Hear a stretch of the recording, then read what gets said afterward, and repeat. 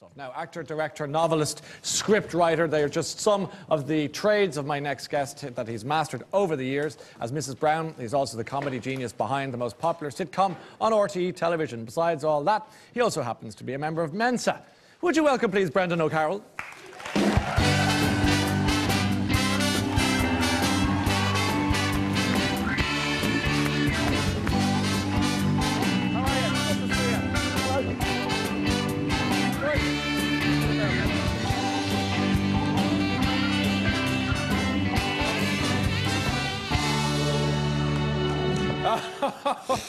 Oh, come on. They're good. Great idea to have me on. Listen. Boost your ratings. We need them. we'll take them wherever we can get them. Listen, welcome back to, Thanks very much. to, Great to to the be show. back. It's good to see. Are you, sorry, are you a member of Mensa? This, where is this from? Yeah, I am a member of Mensa. What happened?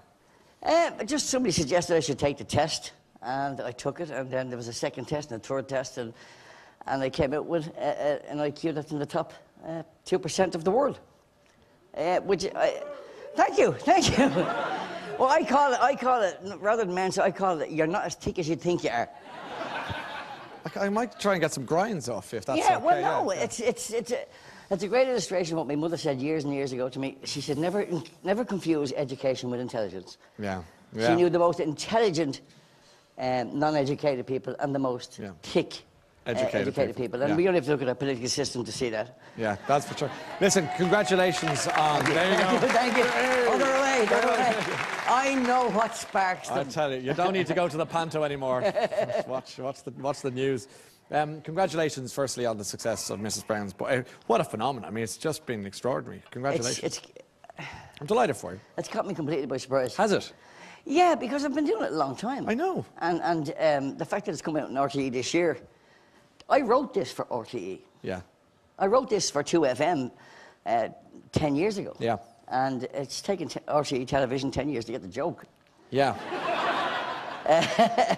But I'm, I, I'm absolutely, I'm, I'm overwhelmed with them. I'm, I'm very, I feel very humble, and I don't mean to be false about it, but I really do. It's kind of people going, it's amazing, and I'm going, well, it's the same thing we were doing last year. yeah. Yeah.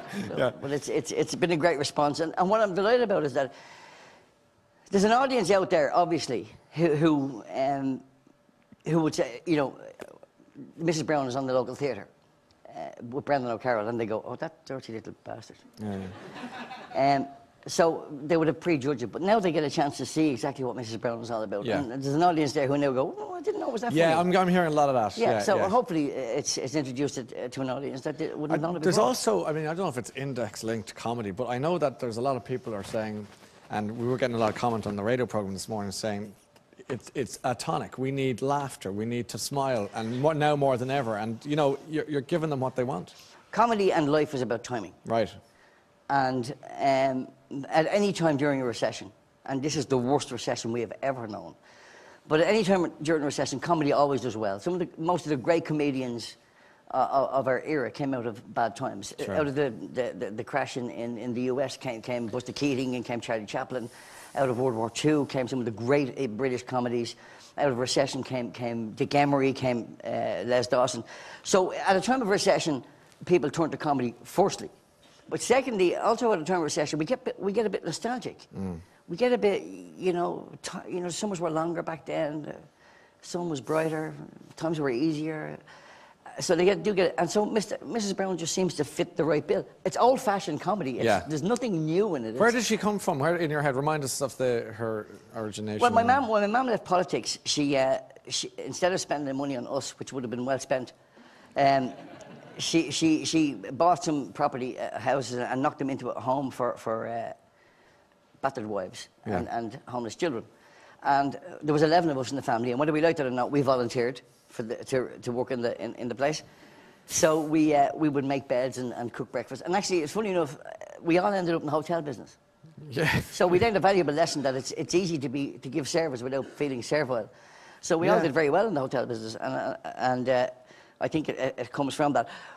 But when I finished school, if I went home from school, I'd be sent straight down to do whatever it was necessary. So we used to, I used to skive off. Instead of going home, I used to go up to Moore Street, stash my school bag, and I used to run errands for all the, the old years there, and, and I got to know them all. So Mrs. Brown is really a collage of all of those.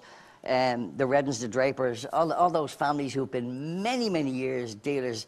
There's, there's two uh, girls there, Melda and, Melda and Margaret. Um, and I love them because they say they're sisters and their names begin with the same letter, Mel and Margaret. um, and, and Melda and Margaret have been selling fish uh, in Moore Street for, for, for years and years and years. I remember, and they've great lines, things like, you know, you know, is that fish fresh, Mrs. Fish, fresh? Are you kidding me? Bring that home to me, putting them out with the cat. uh, but they, tra- they can trace their roots back to Molly Malone. Yeah. All right. Uh, Okay. So, it, it, it, so I was very lucky to be a part, to, to get a skim of that culture.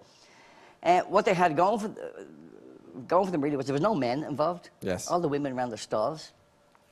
And they loved their children. They Mm, absolutely adore their children. The Moore dealers' children are, they're just the products of great homes. And, and I t- hopefully that Mrs. Brown brings that across, that although she would, you know, she'd be the first to, to criticise them. She wouldn't have anybody else criticise them. And I used to get questions when I wrote the books.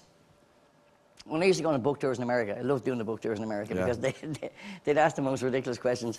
I would tell lies, you know, at the book tour about my father being, a, my mother was a nun and my father was a leprechaun. And, and the Americans would be there just eating it up, you know. Ah. And I'd tell the whole thing, and then they'd, somebody'd ask questions. I remember one woman asked a question in Sonoma County in, in, in, in California. This woman put her hand up and asked a question. Sir, could I ask you? I said, yes. I've read all your books. What is bollocks?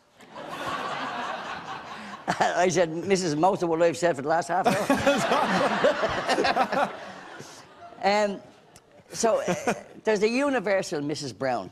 That's what it's got because it travels. I mean, you're filming in Scotland and you're showing it around the UK, and Yeah. but obviously she's a universal mother of some description. Yeah, uh, when I wrote when I wrote the series, first of all, Yeah. the radio series, which is a five-minute piece, supposed to run for two weeks and around for two and a half years, Mm. uh, on Dorothy Callahan. And when I wrote that, it was a Dublin story set in Dublin, kind of aimed at a Dublin audience. And I don't mean to exclude the rest of the country, but I didn't know It would travel. Uh, uh, whatever, well, I didn't know Yeah. whatever, whatever else to write. Yeah. Um, I didn't know the impact it would have.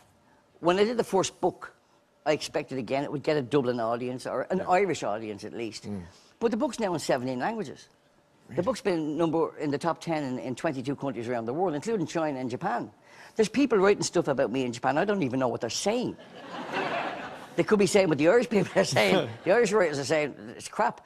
But uh, it's just it's it's it seems now. I, I was I'll give you an example. I was asked to do we were asked to do Mrs. Brown in, on Broadway. Now the reason I wouldn't do it on Broadway is because they want eight shows a, a week, and they want minimum they want me to be with the show for a year. Well, that's like It's having a real job. I could yeah. have stayed in the hotel business and done that, you know.